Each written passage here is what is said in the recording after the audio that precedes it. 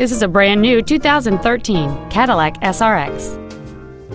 It has a 3.6 liter six cylinder engine and an automatic transmission.